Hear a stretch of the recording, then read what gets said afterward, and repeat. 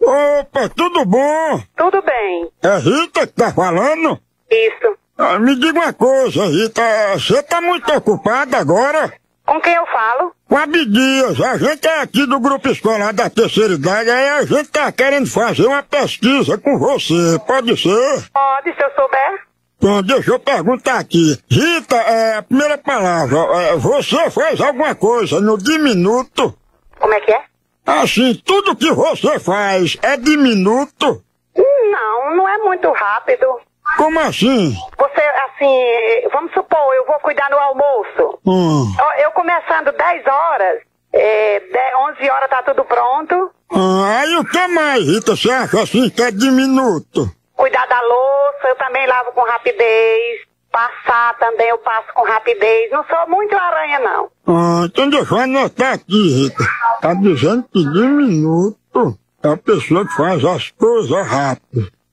Outra pergunta, Rita. É, você acha assim que seu marido é muçulmano? É. Por que que você acha que ele é muçulmano?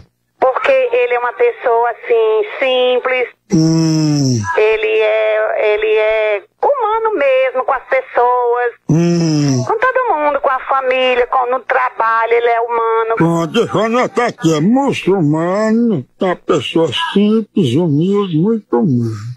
Outra pergunta, Rita. É, a senhora gosta de coisa pueril? Não, não. Por quê? Até porque não faz bem, né? Não faz bem coisa pueril? Ah, é claro. Já viu poeira? Poeira não faz bem a nada. E mas diga assim, na sua casa tem coisa pueril? É, um pouquinho, né? Ah, Nem todo dia também eu, eu, tenho, eu tenho tempo de estar limpando, principalmente assim em cima de guarda-roupa, essas coisas, né? hum, vou botar aqui, pueril, acha que é poeira.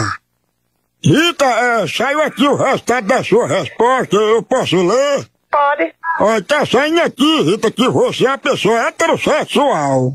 Hum? Olha, diz aqui, Rita, meus parabéns, você é muito heterossexual. Será que não é outra pessoa que você esteja pensando? Não, o computador não se engana não, você é heterossexual, né, assim, pelo seu jeito. Olha, você vem aqui em casa que eu lhe provo se eu sou ou não. Pois eu vou entregar o resultado, viu? Pois venha. Eita, tá toda cheia de perna, né, Rita? Só porque tu é heterossexual. Vá, ter, vá caçar o que fazer, homem. Ei, Rita, mas isso é um elogio. Pois vá caçar o que você fazer que eu tenho que fazer, seu vagabundo. Ei, heterossexual. E tô com essa véia morta? Aí, tá vendo? Só porque é heterossexual. É, vai guardar essa murcha. Teu marido também é heterossexual. Ah, pra China.